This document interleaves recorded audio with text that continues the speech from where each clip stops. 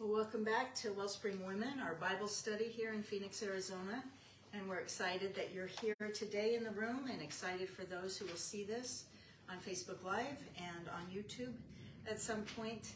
Um, it's close to Thanksgiving, and so we have been spending a couple of weeks talking about how the Lord calls us to be thankful in the Word. And last year or last week we talked about being thankful in your suffering, which is a really important topic, uh, really important discipleship point in our faith. And I was excited to be able to share that message with you. And uh, today we're going to talk about being thankful in your story. That is in, in the specific, unique situation that God formed you for in the womb, birthed you into, and has allowed you to walk out in your life, even in some really difficult places. The destiny that He has for you and the effect that it will have for the kingdom of God on the world. And I'm excited to talk with you about that today. If in the course of this time you hear some jets flying over, those are from Luke Air Force Base and our women and men who are faithfully serving there, learning to fly jets and go on missions around the world. So sometimes on the video uh, you might hear that and wonder what it is, but I just wanted to thank our armed forces today for what they do for us as a country. And it is a privilege to be this close to that kind of action. And so sometimes we have the noise of the flyovers. So when we think about being thankful in our own story today, I'm drawn to Westminster Abbey because I'm drawn to all things English. My great grandfather was from Wales, and my grandmother always told us that we were descended from English royalty, going all the way back to King James who helped to put into place the King James Version of the Bible. So I think that's very cool as somebody who God has asked to dig into the Bible and to share with people.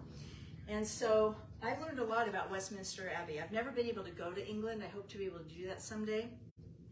But it's the most pristine, the most famous church in England. In fact, it stands right next to Parliament, and it literally houses history which is why it's so huge. You may not know this about the Abbey, but it has amazing architecture, and not only is it sacred but solemn, we see that because royal weddings happen there. Also, royal funerals. The most recent, Queen Elizabeth II, who we just saw uh, go through that time of mourning as a country, and her funeral was held there, though she was buried at Windsor. Um, Coronations of kings and queens happen in this abbey. In fact, this is the actual throne that they sit on at their coronation. Queen Elizabeth did. Uh, every king and queen before her for centuries did. King Charles will um, in just a very short amount of time. And so what an incredible thing that this even is in the abbey and still stands there waiting. Flags fly there for knights and nobles and royalty. And what makes it distinct and endearing to all of us are the uncommon stories of commoners who are held in honor there. It's not just the kings and queens, it's not just the nobility. It's a lot of people. In fact, there's a wall of modern martyrs on the outside of Westminster Abbey. And on this wall of just about a dozen modern martyrs is Martin Luther King Jr. Another man that you may recognize because of his faith, Dietrich Bonhoeffer. And in England, they commemorate the lives of these great people, even if they're not English. There's a hall of statues in the Westminster Abbey, full of poets and explorers and scientists, teachers, historians. Shakespeare is commemorated there. Nelson Mandela, Abraham Lincoln, and William Tyndale who was instrumental in putting the Bible into print. Westminster Abbey is full of memorials and tombs. In fact, it's the final resting place for over 3,000 people in that very building. 17 kings and queens of England are buried there. Hmm. This King Edward and Queen Elizabeth I in really ornate crypts. And as you walk through the church, they are all there. Charles Dickens, Alfred Lord Tennyson, Sir Isaac Newton, all are buried there. And what's interesting about the list of those who are commemorated is they're not all nobles, but they are all notables. Regular people whose stories served as an example of larger than life changes in the world they lived in because they stepped up and stood in their destiny, in their time for a purpose. There are carvings and engravings there, sculptures and statues, but the most beautiful are the stained glass stories. And there are lots of them. That's usually what stained glass art does. It tells a story, it commemorates somebody's uh, journey or their personhood, and there are loads of stained glass windows at Westminster Abbey. This is the capstone, actually the most famous of the windows, uh, the rose window. And this one tells the saint stories, and this is not an unusual stained glass window feature that is in many of the European cathedrals. Jesus Christ will be in the middle of that window, and around him will be the 12 disciples and the four gospel writers.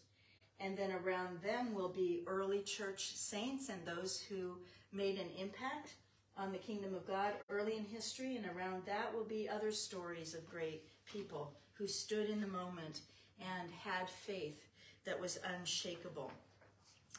What an illustration that is to us in our own lives that right now we live a larger story than we're even aware of. And so today I want to talk about the stained glass stories from God's Hall of Faith in Hebrews 11. And we're just going to look at a couple of portraits that maybe will be unexpected to you of who God dropped into that Hall of Faith. Because I want you to see today that your story, as the master craftsman takes the broken pieces and creates a beautiful display, will be so full of his grace and will be for his glory that you will become a part of that larger masterpiece of the Lord that communicates his love and his life to a world that is waiting and watching to see what it looks like to be found and to also be faithful. And I pray that for each of us today. So let me pray and ask the Lord to lead us. Father, we thank you uh, that there are so many pictures around us of what you want in us and through us. And so today, as we talk about being thankful in our story, I pray that you would just open our eyes to behold wonderful things from your word. Holy Spirit, I pray that you would guide us into all truth, that Christ would be exalted, that we would be challenged and encouraged in our faith, and that we would see the level of commitment that you long for us to have, that our own stories, our own stained glass stories, would become larger than life representatives of your work and your kingdom for your honor and glory. In Jesus' name, amen. All right, we'll take your hand out and follow along. We're going to look at three stories. And the first thing I want you to see in the first story is that God writes your story, R I G H T. He writes it when it's wrong, when you receive His best for you. Now you may say, but what if parts of my story are broken in places? Well, that's a good question. There are some of those kind of stories in Hebrews 11. And we're going to look at several of them today. Let's start with the story of Jephthah. Jephthah. Look at Hebrews 11, 32 and 33. And what more shall I say? I do not have time to tell about Gideon, Barak, Samson, Jephthah, David, Samuel, and the prophets, who through faith conquered kingdoms, administered justice, and gained what was promised. Well, we know who Gideon is, and most of us know who Barak is with Deborah and Samson and David and Samuel. How many of you know the story of Jephthah from the Old Testament? Well, he's dropped right in there. And our first question is who is this guy? And how come he made that list of people who are commemorated for their faith? So, as we think about his story, I want you to understand that not only is he mentioned in the Hall of Faith of Hebrews 11, which is really the Westminster Abbey of the scriptures, but he gets two and a half chapters of airtime in the book of Judges. Only Gideon and Samson get more scripture press than that. And what's interesting is that the two judges before him, who you wouldn't even be able to identify by name, only get two and a half verses apiece, hmm. even though each of them ruled 22 and 23 years respectively and were great judges. So, what is it about this guy's life, and what would the Lord want us to know about it? Why did his story get hallmarked by the Lord? Well, Jephthah was the ninth judge of Israel. You can read about his story in Judges 11 through 12, but let me just give you the short version of it. He was driven out of his home by his brothers because he was an illegitimate son. His mother was a harlot, and so he was considered worthless by his father's sons, his brothers. So he left his native land of Gilead and he went as far as he could east to the land of Tob, scripture tells us. And it was there that he joined a gang of raiders. He literally became a pirate in this place. And he learned the skills of war. He learned how to battle. He learned to wield a sword. And one of the things I would say to you today is some of your skills to war have come from your most broken places. And God will use that spiritually in your life. Well, when the Ammonites attacked Israel as a nation, the nation sought after Jephthah. And they came and got him and asked them, him if he would come back and save them. He was such a strong deliverer at that point that nobody could stand against the Ammonites. And so Jephthah said to the elders of Israel, okay, I'll come back. I'll come back to my land. But when I come back, if I deliver you, I want to be your judge. I want to be your ruler. And he did. He worked out that story in his own life. And so I want you to see a couple of things about Jephthah, Jephthah's life that you and I can bank on today as we walk in our own stories. The first is, though rejected by his family as an outcast, he opened his heart in creating a legacy of strong faith. What's interesting about that is he actually lived up to his name. His name means he will open. And Jephthah opened his heart, and then he opened his hands, and then he opened his land to blessing. From outlier to in the line of blessing because he came back and he dealt with the brokenness and the rejection that he had experienced. And as a result, there was restoration and inheritance, and the entire nation was saved in those days because of this outlier, this outlaw who had been a pirate and came back to be one of the greatest judges of that time. The second thing I want you to see about his life is he traded what he thought was good for God's best for him. So the land he went to, Tob, T-O-B, means good or goodness. And it's in the land of Manasseh. And Manasseh means he that is forgotten. Now remember Manasseh, one of the two sons of Joseph, Manasseh and Ephraim? And when Jacob went to bless those boys in Egypt, he switched his hands, and Manasseh should have gotten the firstborn blessing, but he switched his hands and gave it to Ephraim. What's interesting is Manasseh was Joseph's firstborn, and Joseph named him Manasseh, meaning forgetfulness. He named him that because Joseph said, I have forgotten the bondage, I've forgotten the bitterness of my time in Egypt. Now God has blessed me. But what happened is Manasseh got the short end of the stick. And so as that tribe settled and as that legacy of for, forgetfulness rested on them, they came to be known as he that is forgotten. And so Jephthah goes to what he thinks is a good place. This is this will be good for me. I've been rejected here by my own family. This will be good for me. And he becomes a he joins a gang and he gets that he gets that sense of belonging. And he becomes a marauder and he, he becomes a mighty a mighty warrior in that. But he's dwelling in the land of he that is forgotten. And that is what is hanging over him. And I love that rather than staying in that place, God took those very circumstances and brought him back as a mighty warrior, as a deliverer a defender of his people. So here's a map. The land of Tob is way up there in the corner. You can see how far that is from Gilead, where he started over here. But what's more important is that while he was hanging out up there, marauding, the Ammonites were attacking all of Israel, and nobody could stand against them. And so they went all the way up to Tob to get this one boy, to get this man, and say, Will you come back and save us? And look at how God righted, righted that story for him. When Jephthah accepted God's best for him. So from marauder to mighty warrior, he had to deal with forgiveness in order to go back, and he had to deal with those family ties being restored and becoming a family defender and deliverer again. The next thing I want you to see in his story is he stopped living up to what others determined about him and started living up to what God designed for him.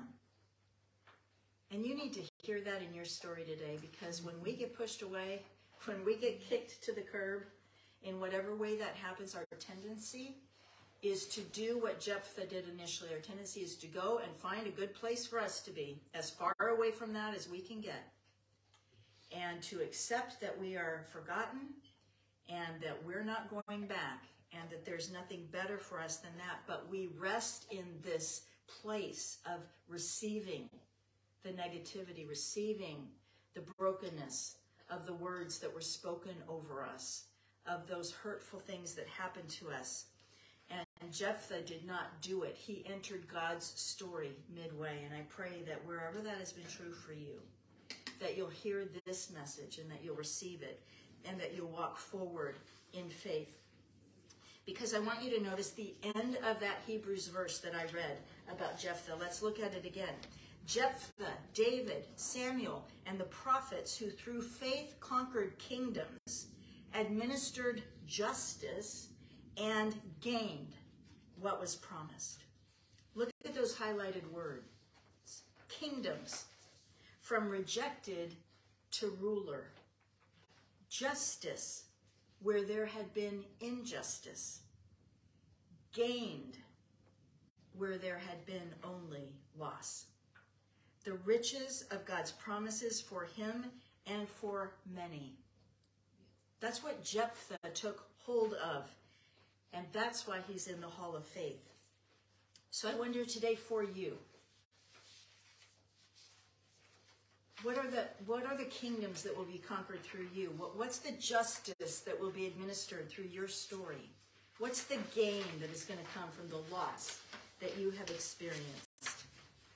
You know, I love that there's actually an alternate name meaning of Jephthah, and it actually means whom God sets free. And that is the deliverance of his story, the deliverance of all of our stories. But remember what his name means. He will open. And so my question as we consider the life of Jephthah is what will God open for you?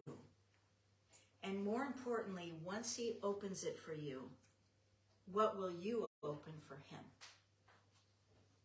That's the message of Jephthah's life that's left for us in God's Hall of Faith in Hebrews 11.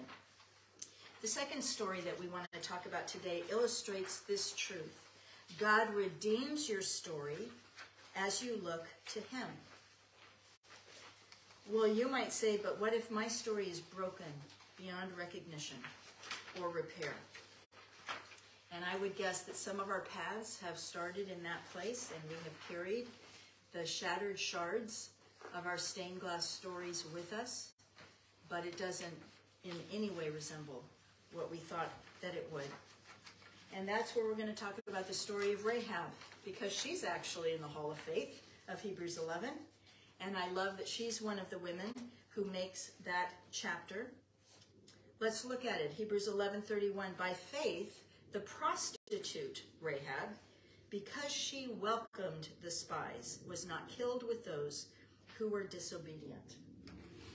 Rahab uh, woman of the evening, uh, a woman of disrepute who was despised and disqualified, but reached for a fresh start and a new legacy for her and her family.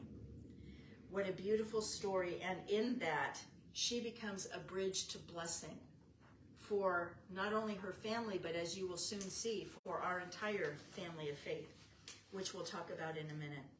But one of the things I want you to see in her life is that she acted on what she had heard of the Lord and his promises, even before experiencing his presence and power. Look at what Joshua 2 9 through 12 says. Rahab said to them, I know that the Lord has given this land to you, and that a great fear of you has fallen on us, so that all who live in this country are melting in fear because of you. We have heard how the Lord dried up the waters of the Red Sea for you when you came out of Egypt, and what you did to Sihon and Og, the two kings of the Amorites east of the Jordan, whom you completely destroyed. When we heard of it, our hearts melted and everyone's courage failed because of you. For the Lord your God is God in heaven above and on earth below. Now then, please swear to me by the Lord that you will show kindness to my family, because I have shown kindness to you. Give me a what? Sure sign. And that sure sign became a scarlet thread that she tied around her window so that when Israel marched against Jericho, they would see that one scarlet thread and recognize that household is going to be saved. Hmm. That woman, by faith, heard about the Lord before she ever experienced him in his presence or his power. And that household is going to be saved. I want you to see this because we often do it the other way around. Mm-hmm. Even when we know the Lord, we want to experience him. We want him to show up in power. We want to feel his presence before we will trust and go forward in faith. She only had to hear it. And and not even firsthand. This is the this is the talk that was going all around her. What an incredible story of faith that this woman demonstrated. The next thing I want you to see in her story is she entrusted the future of her family completely to the single scarlet thread of God's saving grace. And that became her salvation. Her salvation came through that scarlet sign, which represents the cross. Remember what 2 Corinthians 5:21 says, "He who knew no sin, Jesus, became sin on our behalf that you and I might become the righteousness of God through him." This woman was redeemed. She became a part of Israel. And you're going to see that not only did she become a part of Israel, but she had an even greater role than that, which we'll talk about in a minute. So as you think about your own story and, and the redeeming grace that God has extended to you and how you desire to have that not only for you, but for your household, um, I want to point out a couple things to you because you may say, well, I want that too, but you know what? I've got kids who aren't walking with the Lord. I have grandkids who haven't come to faith yet. I have, a, I have an unbelieving husband. I so desperately want salvation for my loved ones. My parents don't know the Lord. You know, I have brothers and sisters or cousins or whoever. What can you do? First of all, pray. Secondly, proclaim your faith. Somebody said that today. Adele, you said that in whatever ways we can, when we have opportunity, proclaim our faith. Just, just put in a word somewhere of, of what God means for you.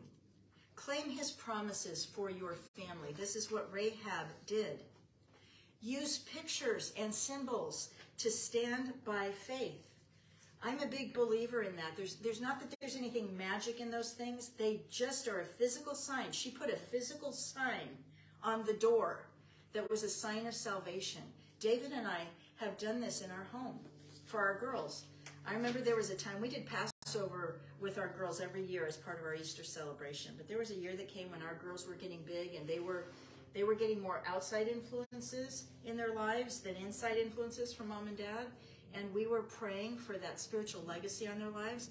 I remember one Passover, David and I took the cup with the grape juice in it. And we went to every every door of our home and we and we put the blood on the on the doorposts on the lintels of, of every door of our home father we're claiming this room for you don't let the enemy come into this room to that study to this tv room to that bedroom uh, you, the blood of Christ is over this house. This house belongs to the Lamb of God. I have friends who anoint things with anointing oil. They anoint people for prayer. They anoint places that they go that the Lord um, allows them to go into an atmosphere and just with a drop of oil that maybe nobody else knows about or even sees says, this is claimed for the Lord. This is a, this is a place where God uh, is invited to come and dwell. We have a stack of Bibles at home in my office that I um, that I used as a symbol, a picture of this years and years ago. So I have my great grandfather's theology book that's over 100 years old. We have our grandparents' Bibles, we have our parents' Bibles, we have Dave and my Bible. And I'll never forget the day that my Michelle, my oldest daughter, walked into my study with her brand new New Living Translation Bible and walked right past me to that stack of Bibles that sat as a evidence of the generations that were that were given to the Word of God and to, to live according to that. And she took that Bible, that thin line Bible in her hand, and she smacked it on top of that stack and she said, Count me in. Oh. and that's five generations. So so use pictures and symbols and whatever, like Rahab did to say, you know what, Lord, this I, th- I see this by faith. This may not be true in my life yet, but by faith I see this, and I'm putting this out there as a sign between me and you, as a sign of your promises, as a sign to the enemy of our souls that the Lord Jesus Christ and his cross will be lifted up here, that the power and presence of God will be known here. I love that in this story of Rahab. And you know what? There were whole households who were saved together in the early church, such as the households of Cornelius, the Philippian jailer, and Lydia, who we talked about earlier today. But I also want you to see that Jesus warned us that faith would divide some households in Matthew 10, 34 through 36. And that's why you have to pray with such purpose. But please also know that you have to cast your care on the Lord because he is the one who redeems.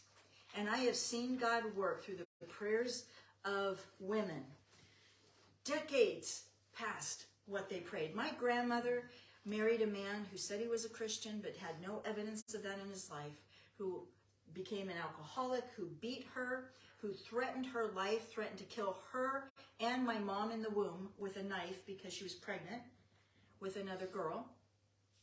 And she prayed for that man who divorced her for all the decades that they were apart. And it was when he was dying of cancer on his deathbed that he gave his heart to Jesus. Hmm.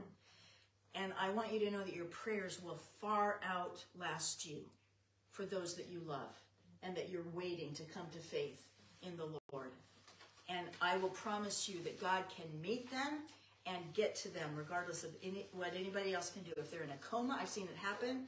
If, if they're in a coma, if they are uh, can't can't hear or see or whatever, the Lord will get to them and make the gospel clear to them, and they will have an opportunity to respond. But one of the things that changed the way that I prayed a few years ago when I taught this, it was a book that I read by Dutch Sheets called What to Pray for Lost Loved Ones. And he gives five prayers to pray. And so I printed them here for you because I think so many times we just pray for their salvation. It's like a blanket prayer.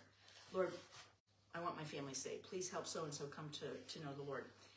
Get specific. So this this blew my mind and this is so good. Pray these five things. First of all, for the person's heart to be prepared as good soil for seed. Mark 4 8. Second, that Satan will not be able to steal the seeds of truth.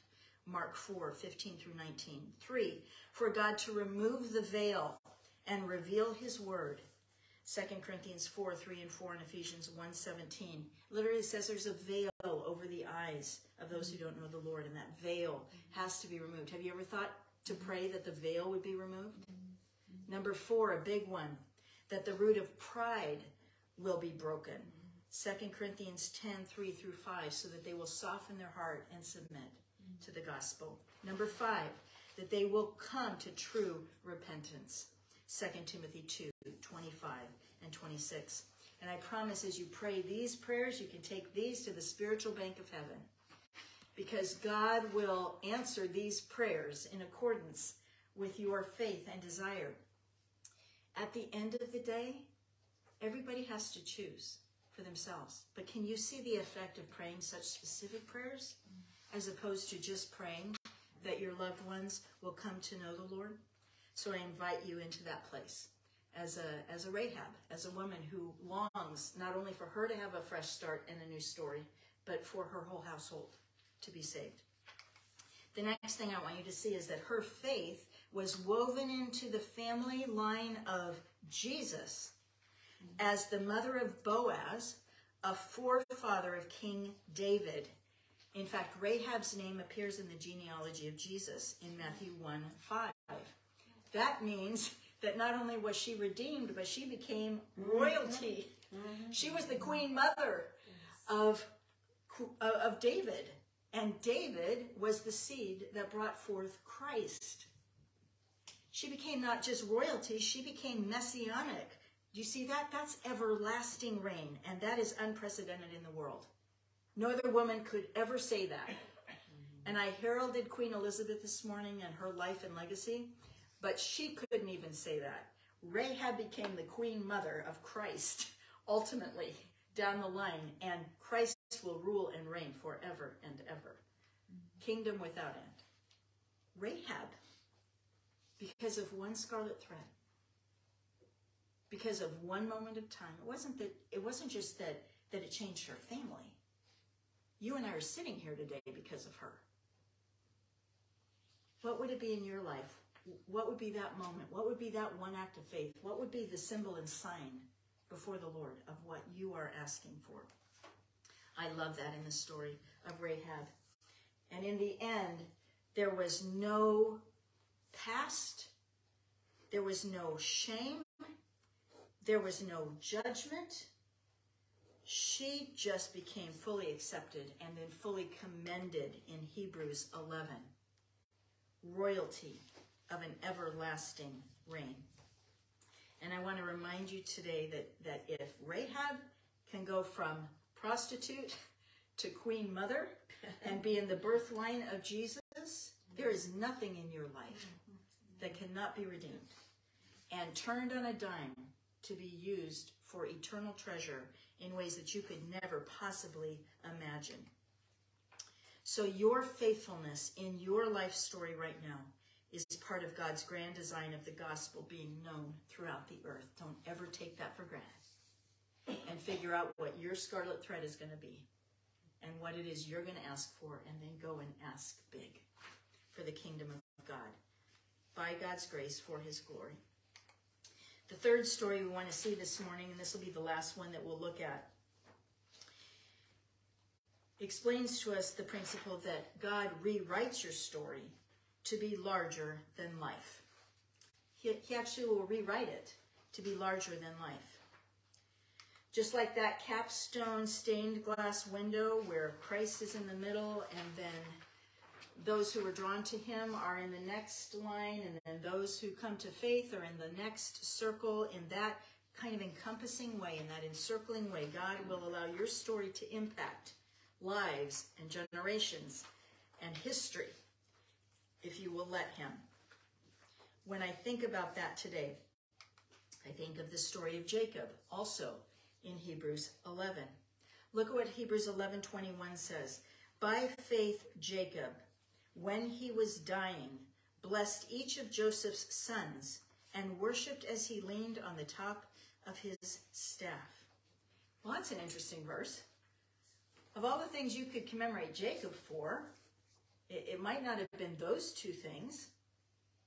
Blessing Joseph's sons. I mean, first of all, these aren't his boys, these are his grandboys. Mm-hmm. And so his vision to look past what was even going to be a forward look in blessing his own children became no i'm going to go i'm going to go beyond that. I'm going to go generations further than that and bring blessing on those that i can bless.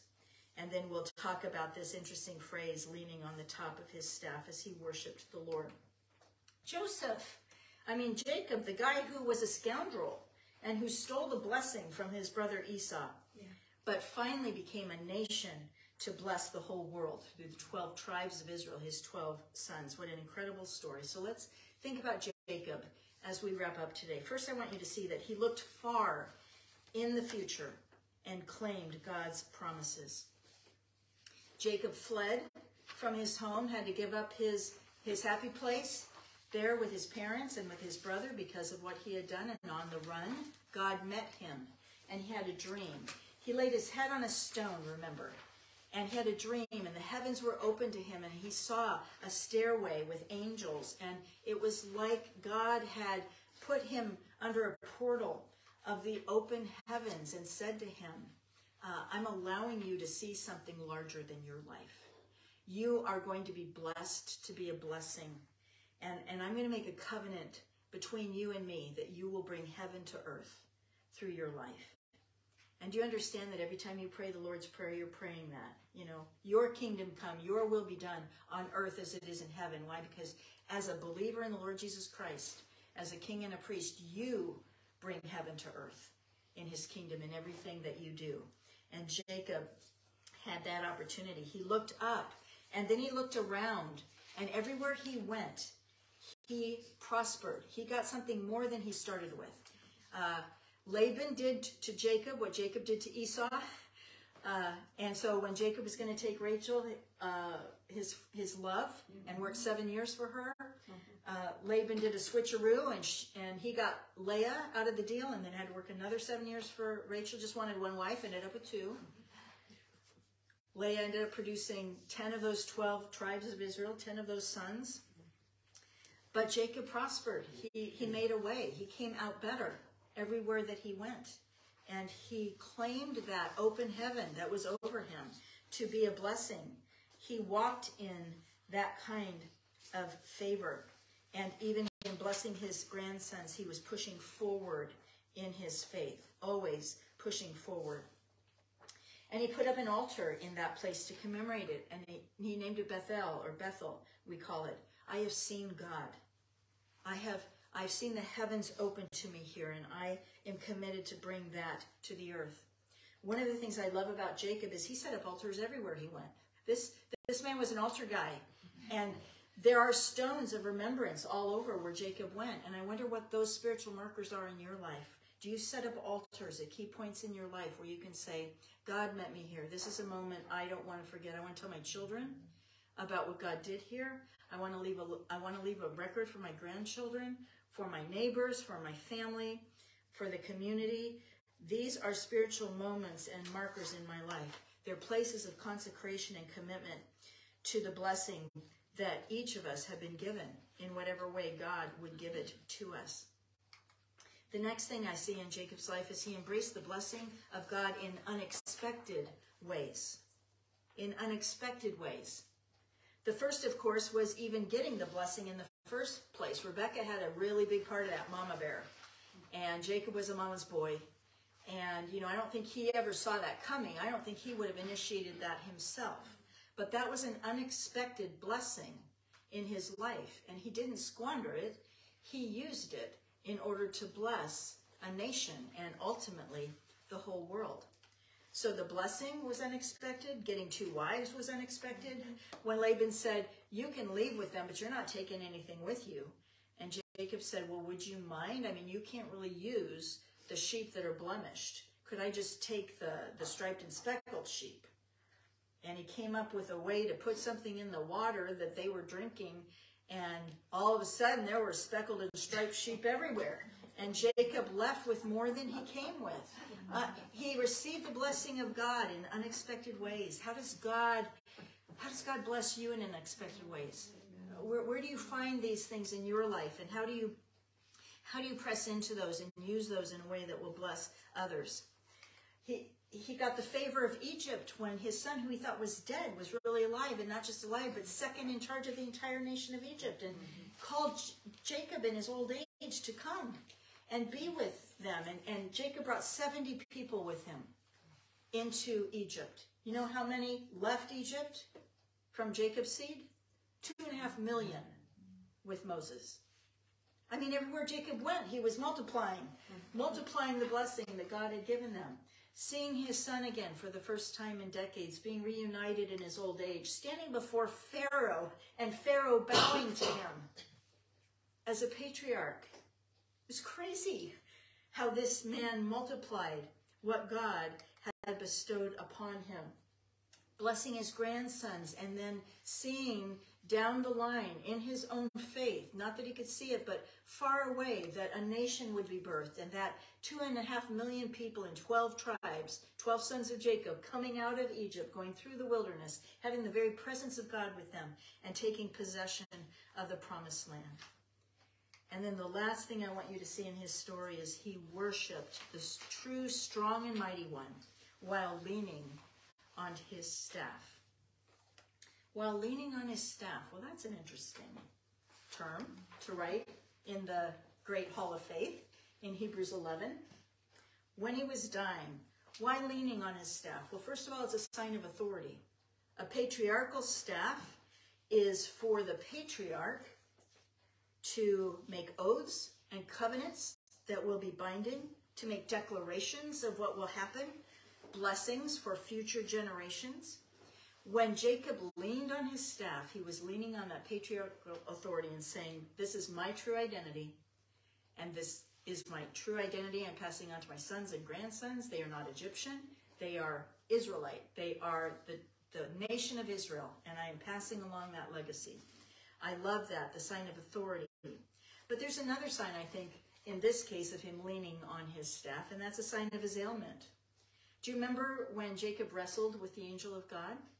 And I think that was probably Christ mm-hmm. in a Christophany before he was incarnated. But he wrestled all night with him. And even in that, Jacob is wrestling with God and he won't let go. And he says, I won't let go of you until you what? Bless me. Uh-huh. Until you give me a blessing. Do you not see how this man just pressed with tenacity into the favor of God over and over and over again? And I wonder if you and I do that enough. How often do you ask God to pour his favor on you? Just boundless favor on you so that you can be blessed to be a blessing. And that's what I see in the life of, of Jacob. But when he leaned on his staff, it was a reminder that when he finally let go of the Lord, the Lord said, Okay, I'm going to bless you, but I'm also going to touch your hip, and you're never going to be able to walk right again. You're going to have a limp. And Jacob, leaning on that staff with that wounded hip, with that weakness in his life, intimately worships the Lord. I want you to hear that today because you have authority in Christ. You are worthy of the calling that he has on your life, and you are to walk worthy of that calling. And he wants you to walk forth with authority and claim some things for him and ask for favor and then receive it and use it to bless many. But you also have weakness. There's also something in your life that, that causes you to walk with a limp. And never despise that weakness because that weakness brings his power to rest on you. His strength is made perfect in your weakness, and his grace is sufficient.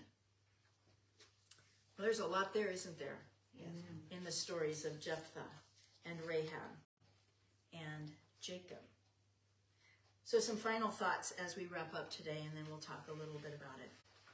First of all, through your life, the Lord is continuing to forge a faith story for the ages.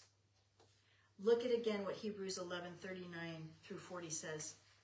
These were all commended for their faith, yet none of them received what had been promised.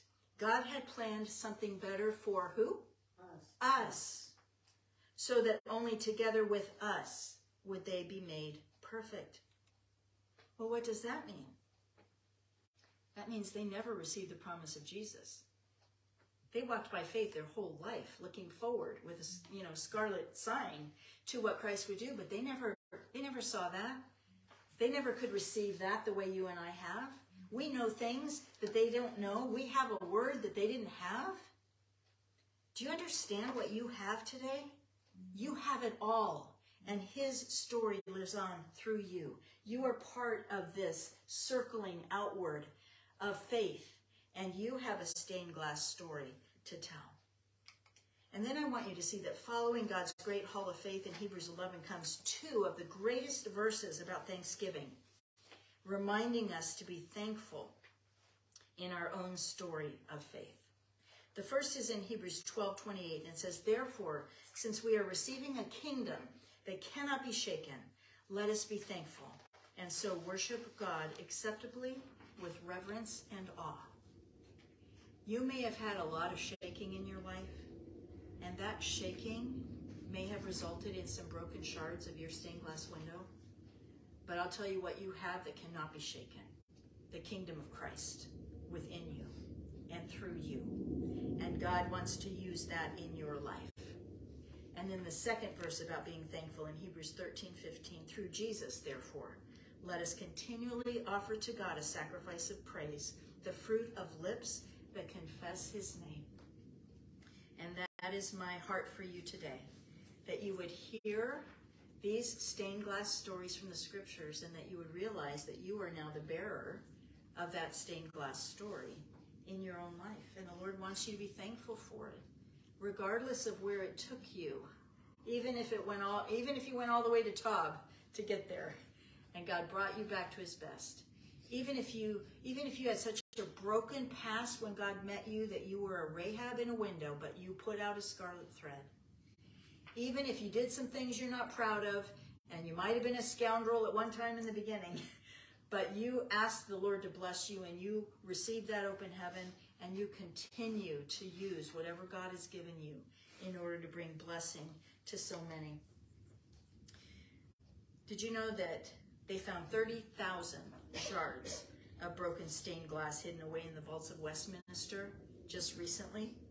And they spread all of those broken pieces out and they discovered that they dated back to the 12th century AD to the 15th century AD. And you know what they did with them?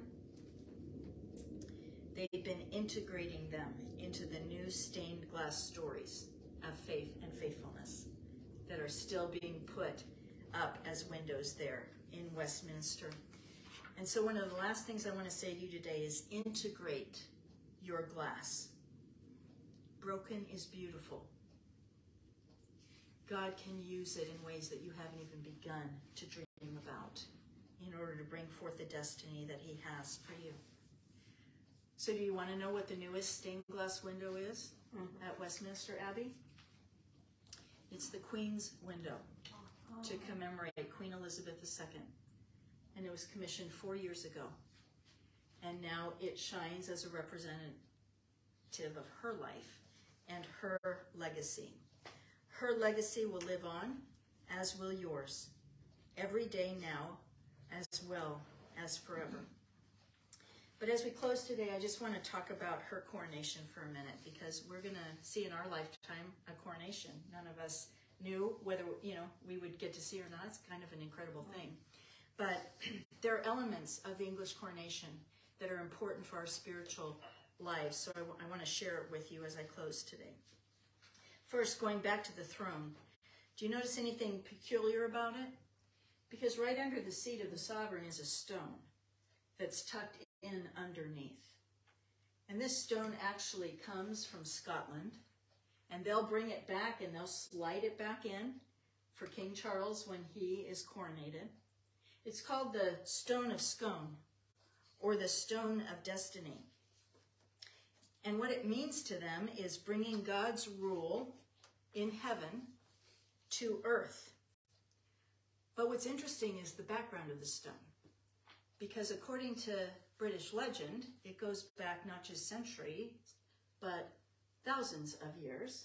In fact, it was the stone that Jacob put his head on at Bethel and then raised as an altar before the Lord.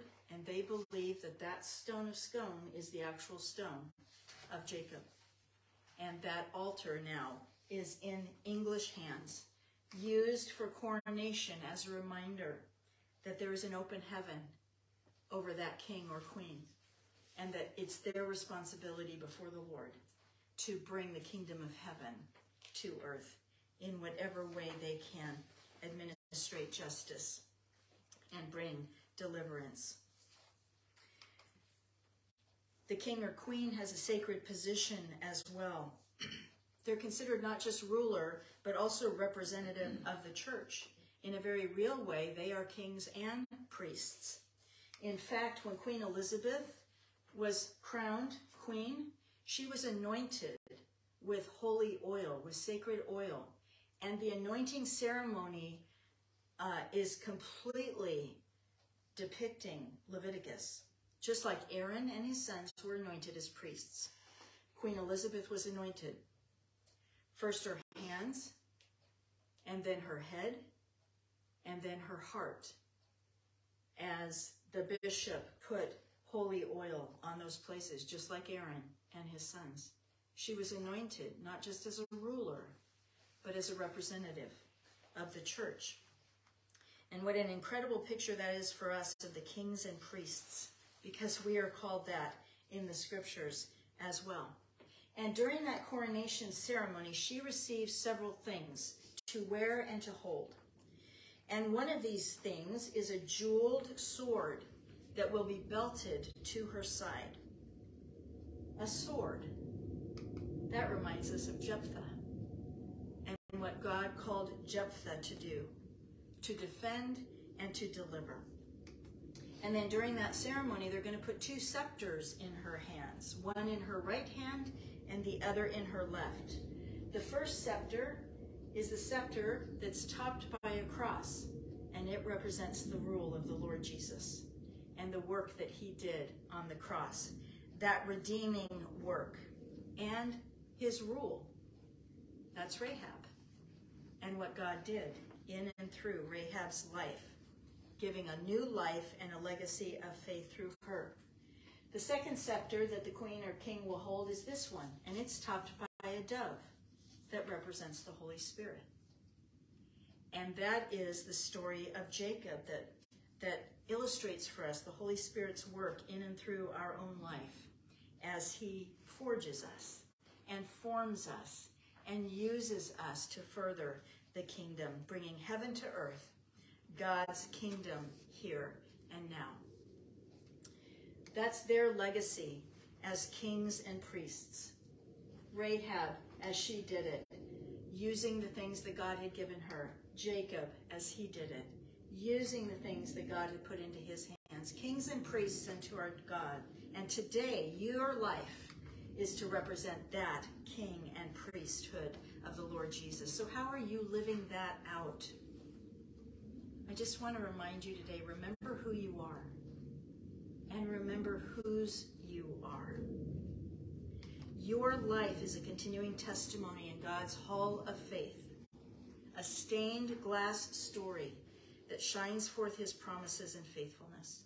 So ask for his favor, be a blessing, and go change your world. Be thankful in all the twists and turns of your life and shine forth his glory through your story. Let's pray. Father, I thank you for these stained glass stories from your word of people who were broken and bruised and needed binding up, and yet you did all of that and more. There's nothing that stood in your way in order to use regular people in an astounding way. And you want to do the same thing today we may not be noble in and of ourselves, but we can be notable by walking our own walk of faith. And so, Father, I pray that these truths would sink deep into our own stories. And whatever, whatever brokenness there might still be, whatever bitterness there might be from those times of us being cast to the side or hidden away in the corner, Father, I pray that you would call us forth and we would walk worthy of our calling in the full authority of the Lord Jesus Christ. And even if we walk with a limp, Father, I pray that your strength would be made perfect in our weakness, that your grace would be sufficient, and that our own stained glass stories would shine forth your glory until Jesus comes. In your name.